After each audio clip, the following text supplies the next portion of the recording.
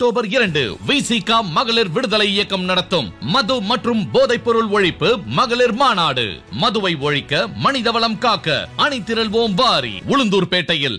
தேனி மாவட்டம் தொப்பம்பட்டியை சேர்ந்தவர் கருமலை. இவரது நண்பர்கள் மணிவண்ணன் முருகன் மற்றும் பல்லடம் மகாலட்சுமி நகரை சேர்ந்த மாரியப்பன்.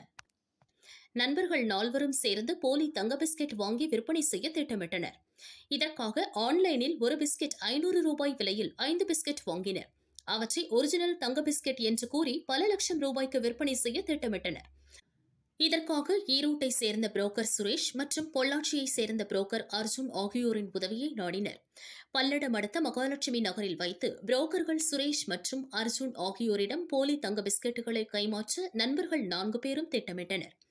இந்த தகவல் புரோக்கர் சுரேஷ் மூலம் பிரபல ரவுடி நாமக்கல்லை சேர்ந்த காசிராஜிற்கு தெரியவந்தது. அவர் தங்க பிஸ்கெட்டுகளை அபகரிக்க முடிவு செய்தார். இதையடுத்து தனது கூட்டாளிகள் விஜயகுமார் கோபிநாத் கிருஷ்ணன் சுரேஷ் ரகு மணிராஜ் மற்றும் மணி ஆகிய எட்டு பேருடன் மகாலட்சுமி நகர் வந்தார். இதுகுறித்த தகவல் பல்லடம் போலீசாருக்கு தெரிய வந்தது. அதைத் தொடர்ந்து மாறுவேடத்தில் மகாலட்சுமி நகர் சென்ற தனிப்படை போலீசார் பதினான்கு பேரையும் துப்பாக்கி முனையில் சுற்றி வளைத்து கைது செய்தனர். கும்பலிடம் இருந்து கார் இரண்டு கத்திகள் ஐந்து போலி தங்க பிஸ்கெட்டுகளை பறிமுதல் செய்தனர். தனிப்படை போலீசாரை எஸ்பி பாராட்டினார்.